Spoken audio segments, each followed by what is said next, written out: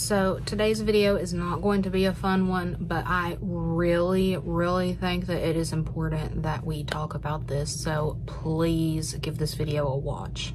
Hello YouTube and welcome back to the channel. So today's video, like I already stated, is going to be kind of a darker one, but also like I stated, it needs to be talked about.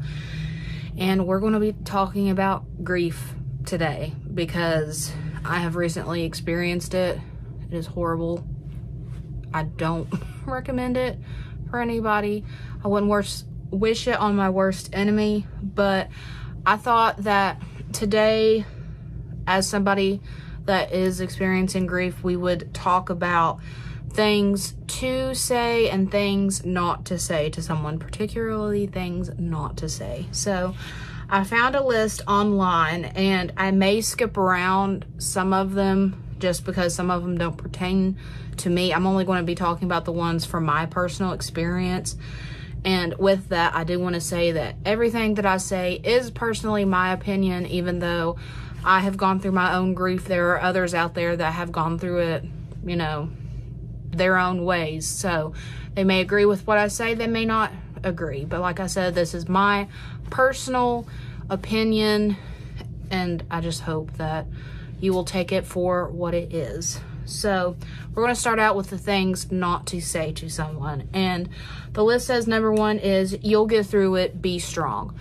I understand the sentiment behind this that you're trying to encourage that person, but especially right when the event happens that causes that grief, it is a emotional roller coaster. Like I don't even want to go back to that place. It was such a horrible time for me and I only had like a week off of work before I had to jump back in. But I don't a lot of these may intermingle. So um yeah, I'll just kind of let some we may talk about them and like I said some of my thoughts may interlap. I forgot to say that earlier, but yeah, just roll with it. Another one, she or he is in a better place. Again, I understand the sentiment, especially with me coming as a Christian and the person who I'm talking about is my grandfather that I re lost recently in the year and I know that he was a Christian and I know that he's in heaven. And like that said, I know that he is in, definitely in a better place than us. I don't really get as upset about this because this is something that you know, us and our family unit tell to each other when we start to feel sad. We're like, we wouldn't want him back because he is in a much better place. So that one's one of those that I don't really agree with, but I can understand how somebody would take that because on the one hand, you do want your loved one here because you miss them. But then on the other hand, you're like, I mean, they are better off. Once you get past that initial first stage of grief, you're like, yeah, they are better off. Um, this next one. It's been a while. Aren't you over him or her yet? Mmm. This one. This one. I've kind of had an experience with this one myself. I don't want to get too far into that because I don't know if this person watches my YouTube videos or not. But don't insinuate to someone that they should be over their grief. No, I don't care if it's 10 years after that person is gone. That person is gone. Like they are not here anymore. You are changed, especially if it is someone like me with my grandfather that I saw every single day and communicated with and was such a big part of my life. You don't just tell that person to get over it, no matter how long time has passed your life changed the minute that that person ceased to exist in this life. Like you are forever a different person. No matter if you can get back to your happy, bubbly person, it's still only going to be at about 90% of that. The other 10% of that is going to be stuck in that grief because you have lost that person. So I just get so agitated with that because I'm like, I don't care how long it's been. You do not tell somebody to get over a loved one. Oh my goodness. Are you wanting to be a part of this too? Yeah. See, Penny agrees. honestly, Penny has comforted me while I was crying during all of this, so she's allowed to say something too. Yeah, I'm not going to go over that one much anymore because I have. Um, he, she lived a long time. At least they didn't die young. I mean, that is kind of insensitive. To, I don't... See, that one's one of those, like, with me, I don't think anybody has said that to me, but I can understand why somebody would take that the long, wrong way. Because it's like, you know, no matter how long of a life that they lived, you still want them here. Um, God must have wanted her, him there because she, him, was such a good person. Again, that one is just like three where they're in a better place. Even like my with my pastor and everything. I, has he said something? Honestly, like right when it happened, after that is such a blur. I don't even remember when somebody said that. But, you know, again, I think that's just one of those things that's for each person. You know, I personally, I know that's true because that's after it happened, so many people commented on my grandfather's Facebook page and was saying what a difference that he made in their lives. So, I mean, I personally, I know that's true that God wanted him back because he was such a good person. But again, I can understand why you wouldn't just look at somebody and say that because it might seem insensitive, especially if it just happened. Um, let's see. I know exactly how you feel I'm again, I get the sentiment. I get the sentiment. You're trying to relate to that person, but in that way you're kind of like taking the focus off of that person that's going through the grief and kind of putting it on you and saying, "Oh, I have." And again, I went through that too. That same person, they they they pulled that card. So, yeah, it it doesn't help. Like, I understand that you went through it too, and, you know, I can commiserate with you, but know that my experience is different than your experience. And also, if you're trying to comfort me by, you know, putting it out there that you've gone through it too, I mean, or I know exactly how you feel, I've gone through it too. Yeah, I, I get it, but, you know, in that moment, it's selfishly about me. So, you know, and we'll go and there's things to say to someone in grief. And I think they have a better way of putting that. And then the last one, everything happens for a reason, life goes on. That's another one of those like the get over it thing. Life does go on, but it's not going to be the same life as it was before that event happened. Like I even now I've gotten a lot of my happiness back, but and especially like one of the good things that came out of the situation is that I have grown more in my faith and being trying to be a better person, like a better Christian. You know, I do think that my grandfather would have wanted that. So, you know, that is a positive that came out of this. And even though, you know, I am happier because I do have that better relationship with God and with Jesus and getting into the church again, I'm still not the same person I was before January of 2023. I'm not. I will never be. No matter if, you know, I've got my one of my dream jobs now. You know, if I could travel to my uh, dream places, if I could live in my dream place, none of that would still make me 100% the person I was before this happened. Like, nothing is going to replace that. So, things to say to someone in grief. I can't imagine what you're going through. I think that one is kind of a better thing if I know exactly how you feel because you're trying to express a sentiment to them that, you know, you feel sorry for them, but it's still putting it on them. Like it's giving them their moment instead of trying to put it on you, if that makes sense. Um, I'm so sorry for your loss you know, yes, but also if you know the person better, just saying, like, for me at that time, if somebody just said, I'm so sorry for your loss, and they were close to me, I would be like, that's it. You don't really have anything else to say other than I'm sorry for your loss. I'm not saying it's a bad thing. I'm just saying if you're really, really close to someone, it may seem a little impersonal. Um, I don't know what to say. I wish I had the right words to comfort you. Good. I mean, I don't have anything bad to say to that. Even if you combined, like, I can't imagine what you're going through. I wish I had the right words to say because it's expressing to that person that what they're going through is valid and that there are there is nothing that you could say that would make the situation better.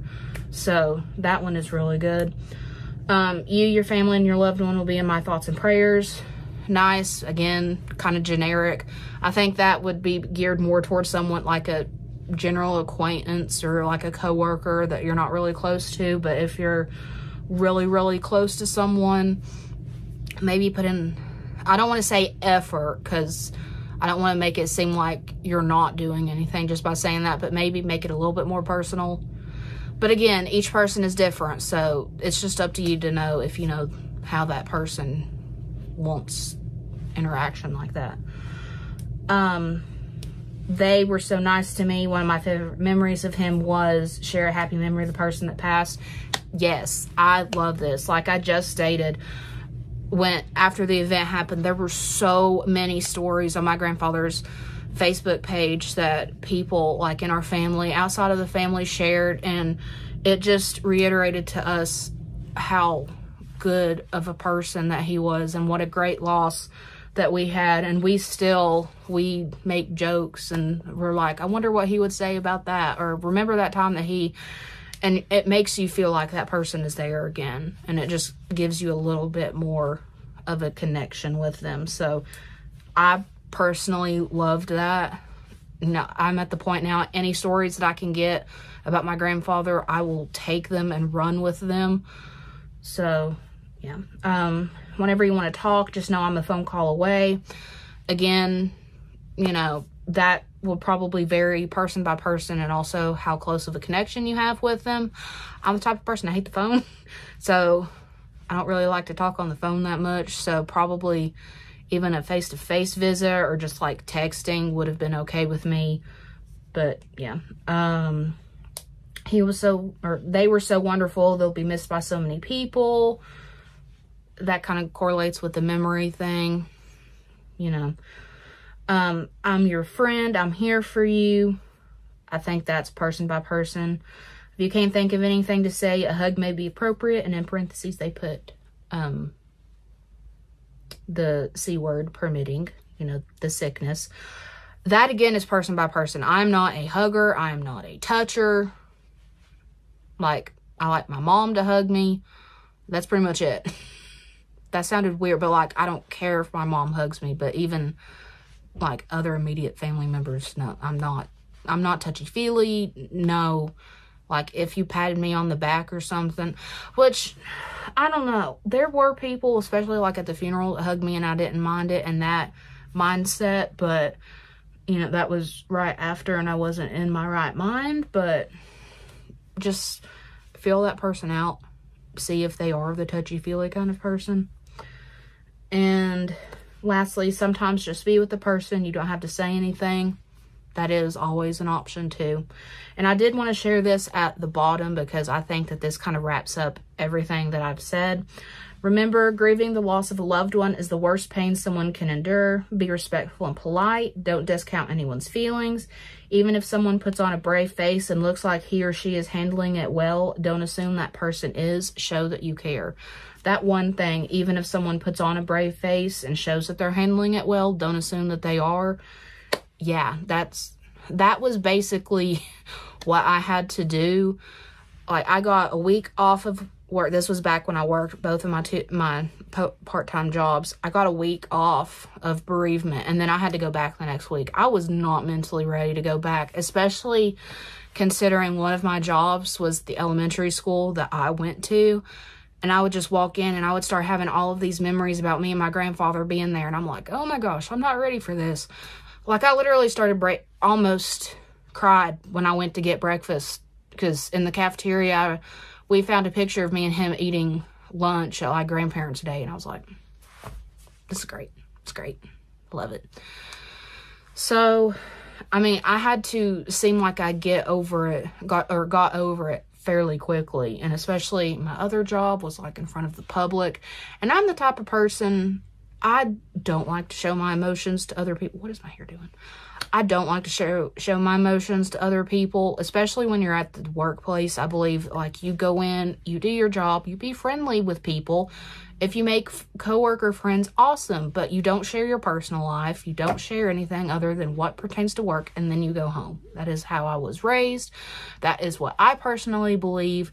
So, you know, especially working with the public, I didn't want anybody to show or realize I had anything going on in my life but that that's a story for a different day. That kind of correlates to what I was talking about. But the main thing that I want to be taken away from this video is like that thing said grief that is the worst pain. I literally for that entire week I actually have a video on my Instagram talking about what grief did to me, but my whole body shook that entire week and even a little bit afterward. Like it usually does that when I'm really, really hungry, my blood sugar drops or, you know, something like that. But I mean, it just, it, I just stood or had a constant shake of just shaking because I, it was just so traumatic. And then I would be fine one minute and then the next minute I would be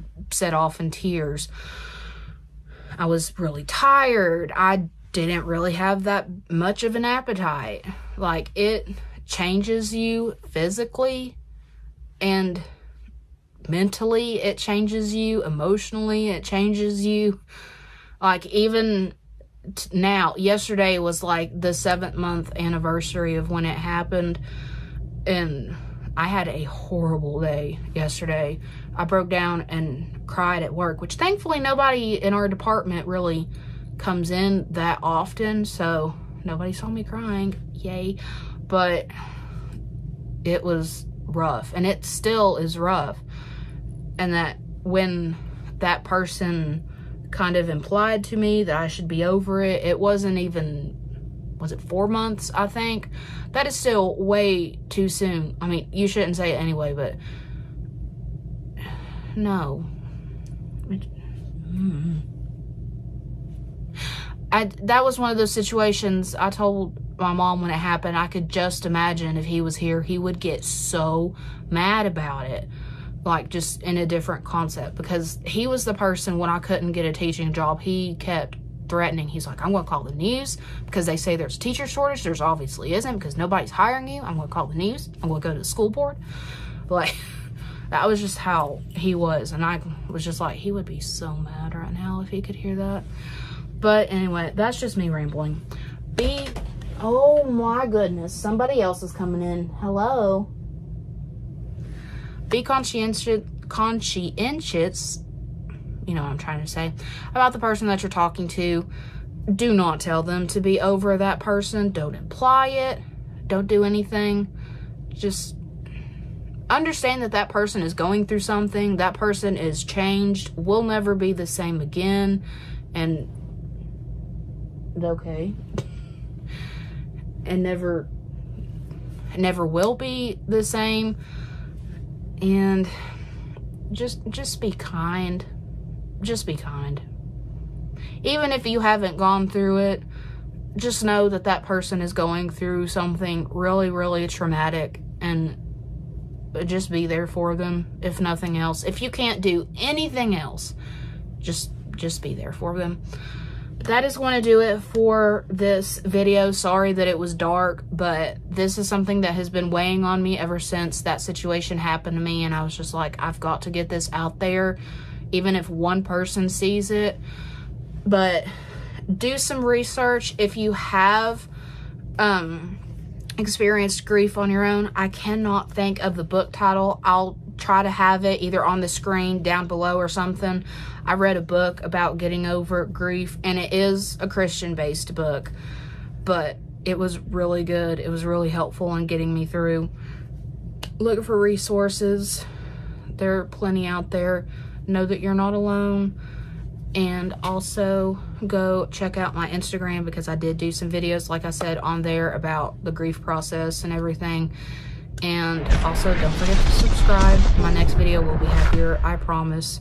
Please stick around if you enjoyed this or if you have enjoyed other of my contents because I don't see how you could enjoy this per se. But with that, I will talk to you in the next one. Bye guys.